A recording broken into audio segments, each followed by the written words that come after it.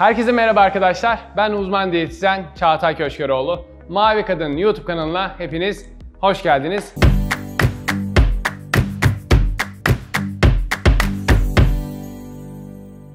Kameranın arkasında kim var biliyorsunuz. Minik nasılsın? Teşekkür ederim. Sen nasılsın? Yine bomba gibiyim. Bugün bana ne soracaksın?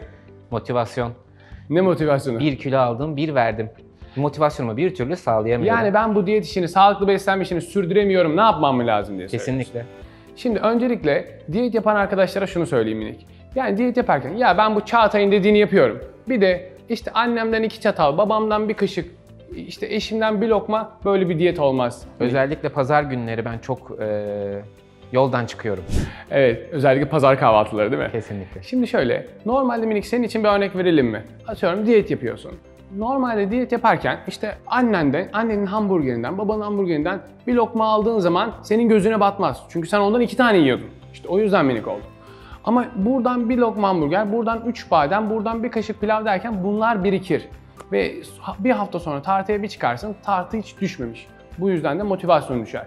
Sizlerden ricamız, sen ve senin gibi arkadaşlardan ricamız diyet yaparken tam odaklanmanız. Yani Çağatay ne diyorsa ya da bu işin ehli kim varsa o ne diyorsa tam olarak e, onun dediğini yapmanız lazım. Diyette motivasyon zaten şu şekilde sağlanır minik.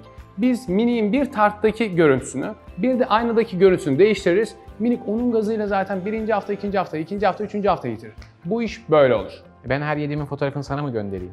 Minik e, bana veya bir işin ehline gönder. Yani birine sorumluluk hissetmek de burada güzel bir şeydir.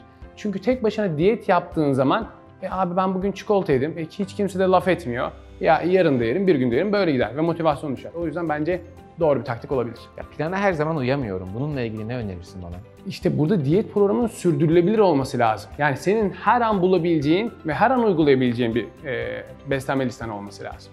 O zaman ben listemi görmeye gidiyorum. Ya şimdi senin gibi adıma biz, seni tanıdığım için söylüyorum. Yani kinoalar, çiğalar verirsek sen yemezsin. O yüzden sana göre bir program hazırlayacağız. Sürdürülebilir olacak, diyetini de bozmayacaksın, motivasyonu da tavanda gezersin. Bu bilgilendirme için teşekkür ederim. Rica ederim, gayet kibarsın.